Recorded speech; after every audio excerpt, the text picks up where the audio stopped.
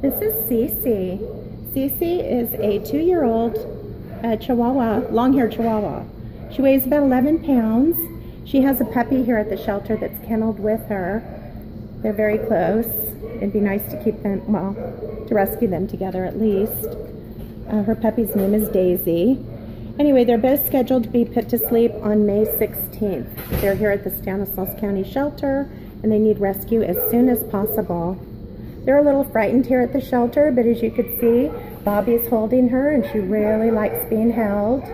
So does her puppy. They're both sweet, very sweet, cute dogs too.